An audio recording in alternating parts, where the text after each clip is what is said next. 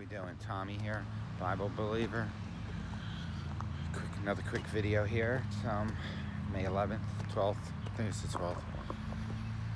Um, so we're supposed to do the will of God. We know that the wages of sin is death, and we're supposed to follow the commandments of God. I mean, it's as simple as that. You can dress it up and tap dance around it, but you know.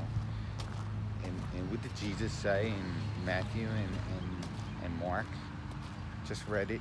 He said, my, mo- my mother and brother, your mother and brother are out here. And they thought he was going nuts.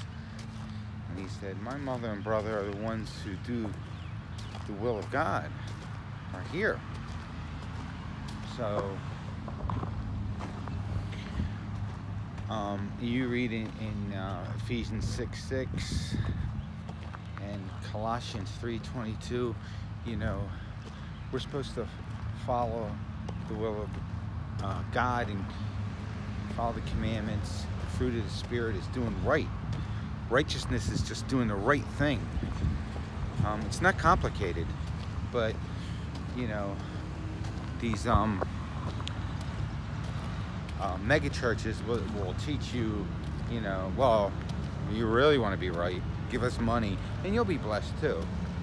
But the only one gets a blessing is them, a financial blessing, not a spiritual blessing, not a, not an eternal uh, uh, uh, eternal rewards. No, they get money in their, they get the greenbacks, they get the dead presidents in their wallet and in their bank account. And they buy jets and planes, and they, you know.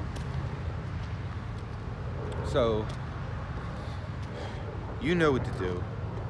You know what to do um, follow, get in that word every day. Pray every day. And um, God will touch your heart. And if you're not saved, get saved. If you are saved, preach stuff like this. You know, do the will of God. Be righteous. There is no law you do the right thing. You know, doing the right thing, you know, it's what you're supposed to do. So, God bless. More videos coming. Praise the Lord.